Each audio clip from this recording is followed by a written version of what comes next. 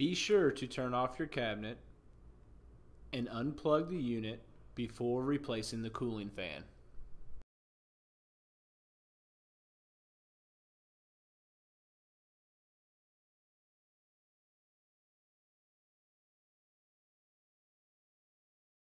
Remove the three screws on the left side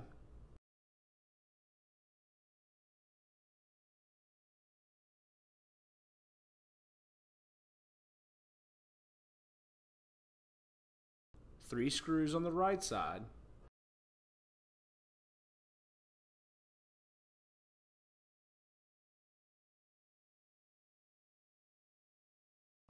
and then remove the exterior top.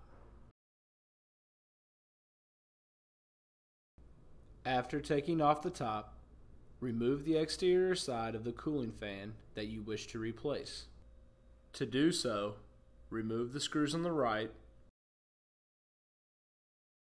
screws on the left, and the bottom screw located in the middle.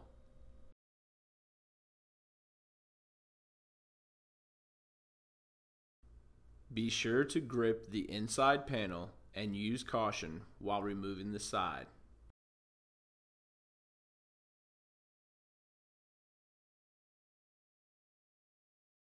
Using a 3 8 inch nut driver, loosen the inside nut at the top.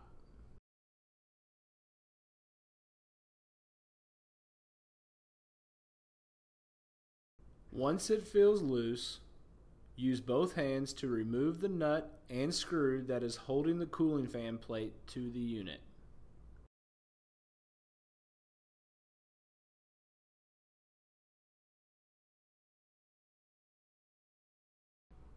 After you have removed the screw, unplug the cooling fan from the unit so you have easier access to the fan itself. Remove both the screws and the nuts from the cooling fan and the plate.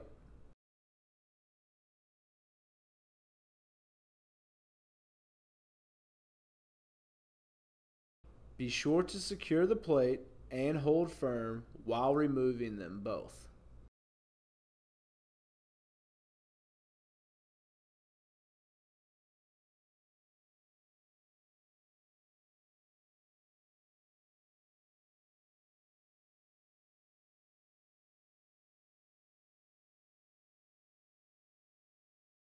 Make sure to install the fan where the label is facing in and the motor will be pulling in air. The cover plate should be guiding the air towards the electronics. This is done so the motor can cool down the electronics of the unit while in production.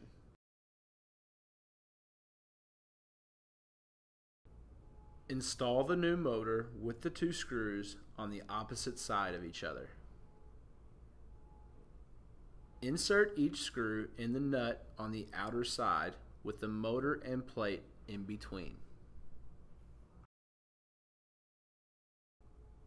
Secure the cover plate with the fan motor by tightening the nut with your hands.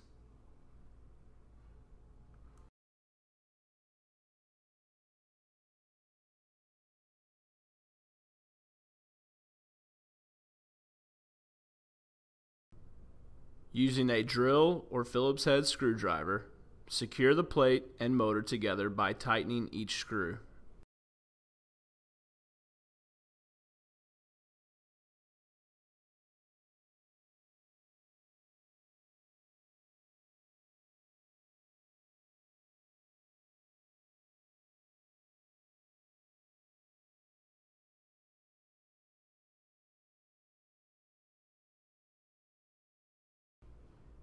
Using both hands, insert the screw through the plate, then insert the screw with the plate through the opening on the inside.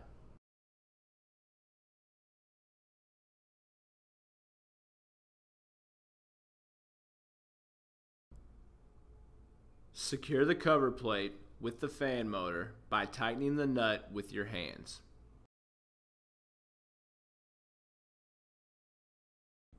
Use the 3 8 nut driver to tighten down the nut at the top.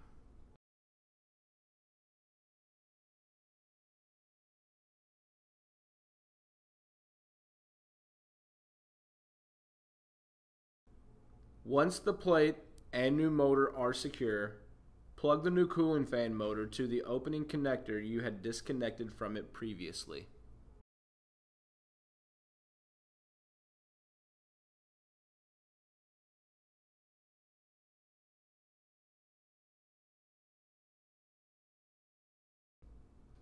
Install the exterior side and the exterior top of the unit once you have completed the cooling fan installation.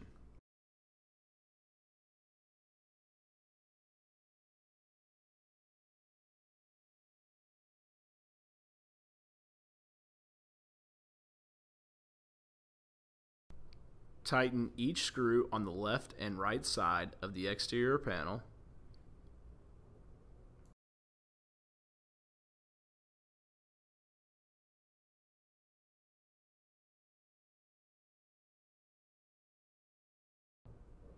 And then tighten down the three screws on the left and right side of the top exterior.